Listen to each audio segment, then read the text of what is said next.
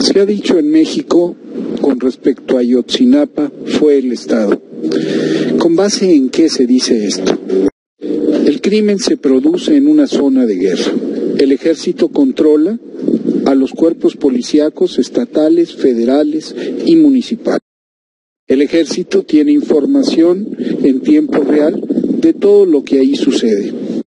El ejército, por otro lado, tiene un largo historial de conexión con los grupos de narcotraficantes en Guerrero.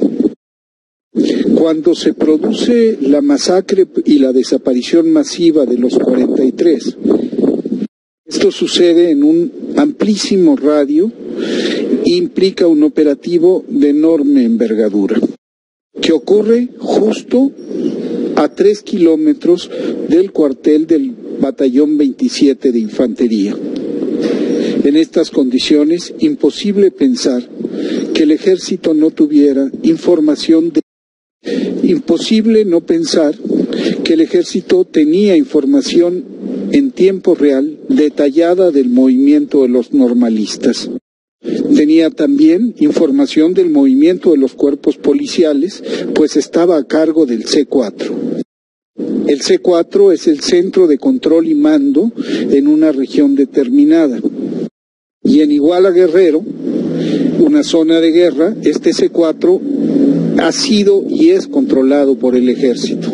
Desde el primer momento en que se produce la masacre, primero en las calles de Iguala y después la desaparición de los 43, el gobierno federal, a través de Murillo, el procurador, sostiene que el ejército se quedó en el cuartel.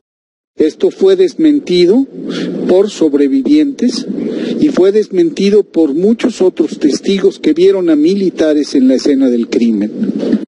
Para operar una desaparición masiva de esta envergadura se necesita masa de fuerza, poder de fuego, unidad de mando. Se necesita también medios, disciplina, y eso no lo tienen los grupos criminales ni las policías municipales, lo tiene el ejército.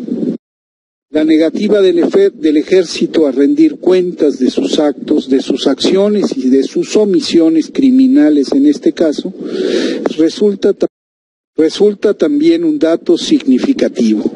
¿Por qué no quieren abrir el cuartel? ¿Por qué los militares no se someten al escrutinio de la justicia y al escrutinio del grupo de expertos inter, interdisciplinario de expertos? ¿Por qué se rehusan a contestar las respuestas, a contestar las preguntas de los investigadores de la Comisión Interamericana de Derechos Humanos? Desde mi punto de vista, el ejército tiene que responder con claridad a la nación sobre sus acciones y sus omisiones la noche del 26 de septiembre. En tanto esta respuesta no se produzca, existe plausiblemente la posibilidad de que el batallón, de que algunos jefes, oficiales y tropa del batallón 27 estuvieran involucrados en la desaparición de los 43. ¿Cuál es la responsabilidad de Enrique Peña Nieto? Enrique Peña Nieto fue informado en la mañana del 27 de que habían desaparecido 43 Pese a que esto representaba uno de los hechos criminales más críticos de su gobierno, ya de por sí manchado de sangre, Enrique Peña Nieto no ordena de inmediato el despliegue de fuerzas federales para buscar a los 43. Enrique Peña Nieto decide esperar 12 días antes de iniciar la búsqueda en un perímetro, en un terreno muy pequeño que hubiera sido un terreno que en un territorio que hubiera sido para las fuerzas federales muy fácil peinar. Desde mi punto de vista, esta omisión, esta indolencia criminal de Peña Nieto, el hecho de tardarse 12 días en ordenar el inicio de la operación de búsqueda, así como el hecho de impedir por todos los medios que se entreviste al ejército y la orden dada al procurador Murillo de orquestar una mentira histórica. Todos estos hechos hacen a Enrique Peña Nieto corresponsable de la suerte corrida por los 43. No digo que él haya ordenado la desaparición de los 43, pero sí digo que él pudo haberlos encontrado de inmediato, pero no quiso. Su único interés para quitarse de encima el problema fue darlos por muertos.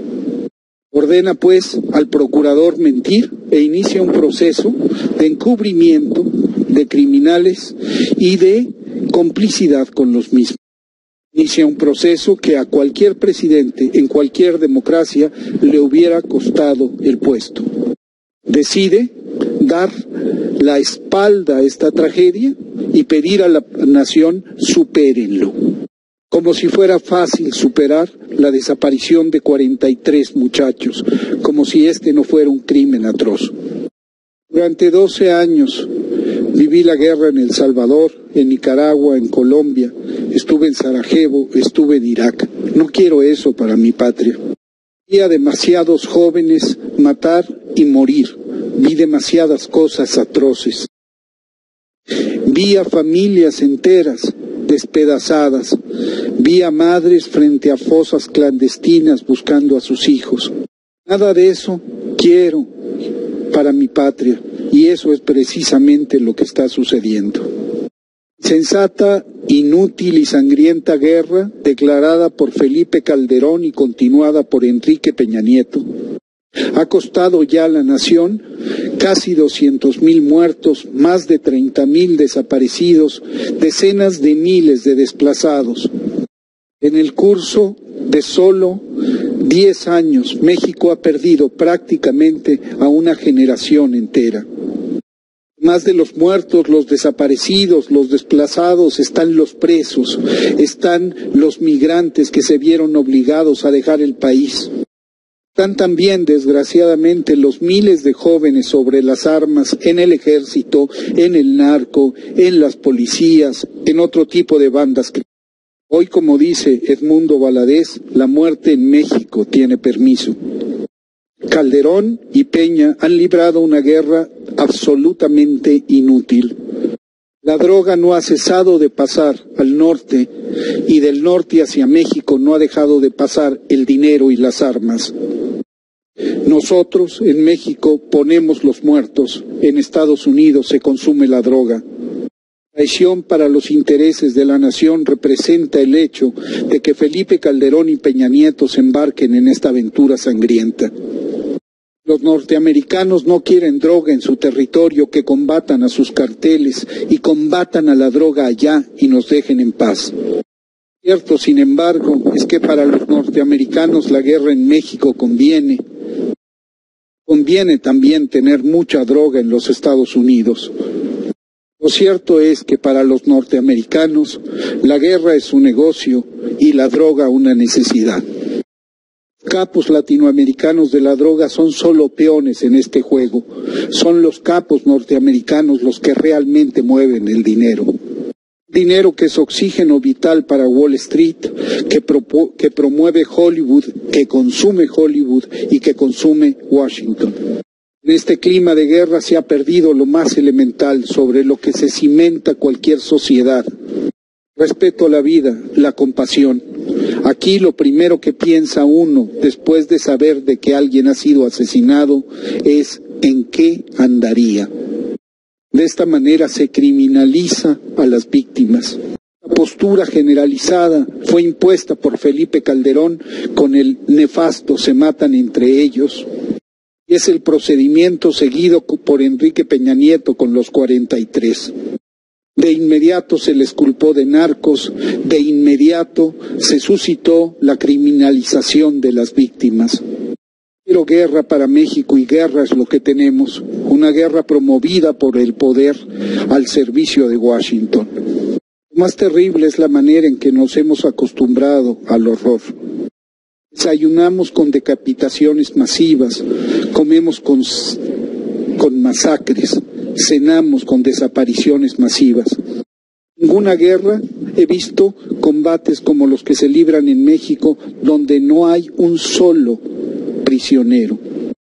Fuerzas Armadas, la policía, ejecuta sumariamente a quienes dice haber matado en combate. Rematan a los heridos, ejecutan a los prisioneros, fusilan. Han instaurado de hecho la pena de muerte en México sin haber pasado por el Congreso. Y al convertir al narco en un enemigo al que aniquilan, lo han convertido en un combatiente feroz. Como los narcos saben que pueden morir, hoy se defienden hasta la muerte y matan también con una gran facilidad. La población civil está expuesta y en medio de dos fuegos. Despliegue masivo de tropas no sirve para combatir al narco, pero sí para el control social. La guerra es utilizada como un instrumento para sembrar el terror y a través del terror dominar. No hay justicia. El 99% de los casos jamás es investigado. Los crímenes quedan impunes. Pueden morir 49 niños y no pasa nada. Pueden desaparecer 43 jóvenes y no pasa nada. Pueden ser masacrados 72 migrantes y no pasa nada brutal cinismo de quienes nos gobiernan han convertido a este país en una enorme fosa clandestina. La democracia mexicana está lastrada. La supeditación de la prensa al poder condiciona y determina que aquí no haya ni justicia. Hay una supeditación real y evidente de la prensa frente al poder. La televisión calla, la prensa olvida, la radio no dice nada. Reaccionan por oleadas, casi por moda, y luego simplemente callan. El poder copta, corrompe, amenaza, mata a los periodistas que tienen una tarea, un compromiso. El poder ahoga a los medios independientes, condiciona a los concesionarios de radio y televisión. El poder quiere y necesita el silencio cómplice de los medios para seguir operando. Muchos periodistas que hablan, hay medios que tienen una posición valiente, no somos pocos. Desgraciadamente nuestra voz no se escucha con la fuerza que debería escucharse y sobre todo el horror se ha instalado entre nosotros. Nos hemos acostumbrado a él abrimos el periódico, escuchamos la radio, vemos en la tele la noticia de una masacre más y simplemente, simplemente decimos otros más, otras más. Tenemos que romper el silencio de la prensa, su desmemoria. Tenemos que ser tercos, persistentes, encontrar en la memoria la fuente, en la memoria histórica, la fuente para no perdonar, para no tolerar, para no permitir más agravios. La prensa ha de pararse frente al poder y no hincarse frente a él. Cuando eso pase, México será distinto, con una prensa independiente, firme, memoriosa, con una prensa que no calle, que no olvide, que no cese de mencionar los crímenes del régimen.